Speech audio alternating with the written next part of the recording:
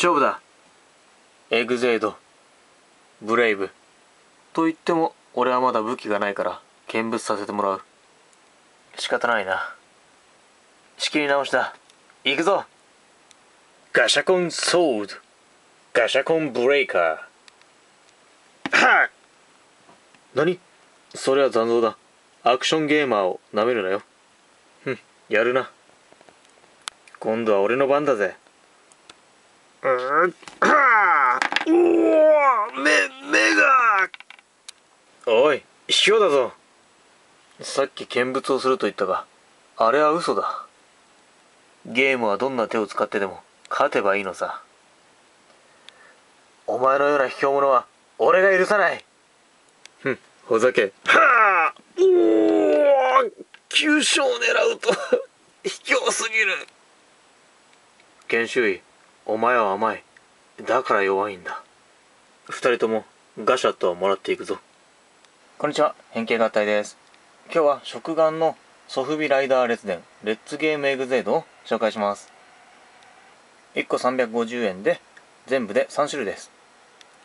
あと今回は箱に入っていないのでまあ抜き出しの状態ですね。なのでお菓子はここですね。こんな風についてます。これ切ります。多分ちょっと根元で切った方がいいですね。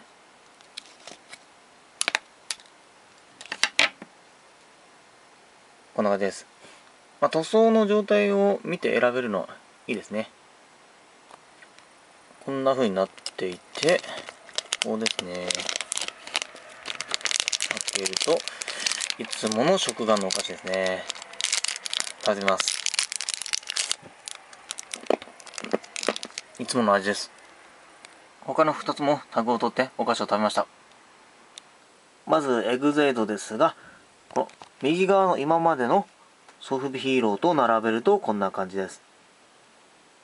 このエグゼイドはあのゴーストの最後に出た4個の中の1個のエグゼイドです。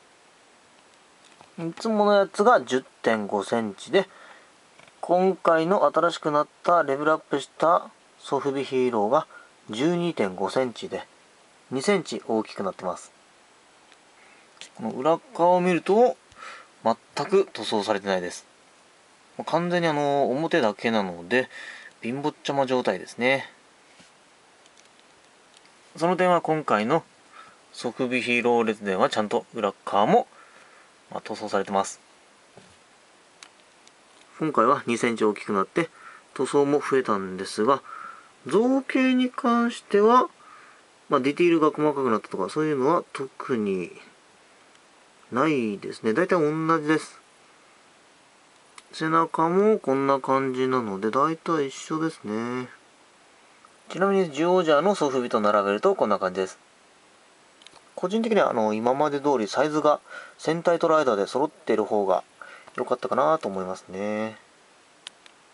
もちろんあの今回の新しい方が大きくて遊びやすいとは思うんですがうーんまあ大きくする必要があったのかなというのはありますね。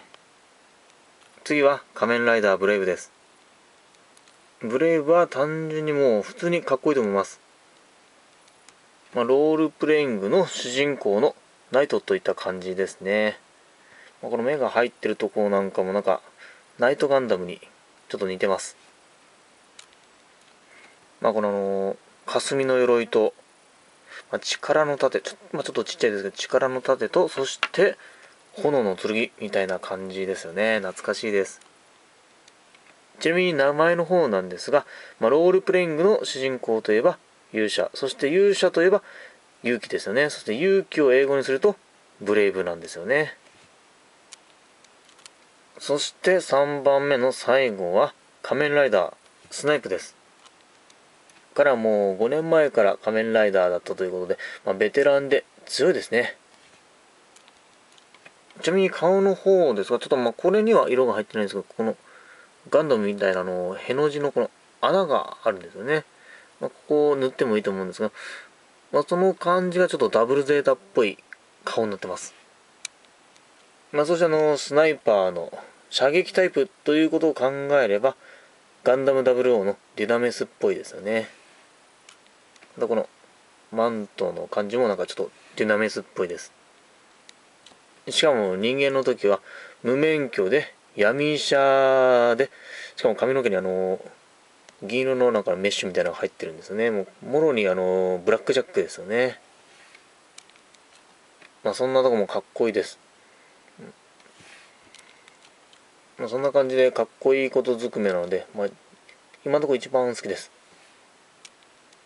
ちなみにスナイプというのは狙撃手のスナイパーから来てますね。ということでエグゼードの今後の展開が楽しみです。ちなみにこのソフビの第2弾は来月12月の20日発売予定です。全3種類のうち1つがゲームということは分かっているんですが残り2つはまだ発表されてないです。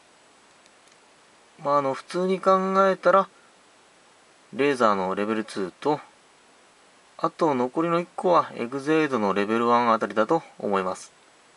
最後まで見てくれてありがとうございます。